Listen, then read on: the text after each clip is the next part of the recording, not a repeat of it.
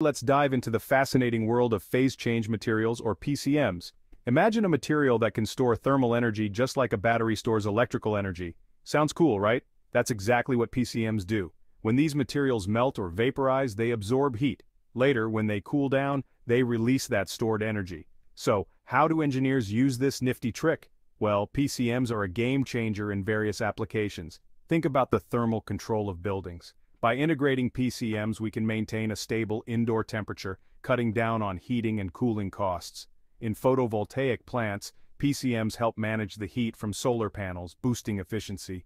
Ever wondered how hot and cold water storage systems stay at the right temperature?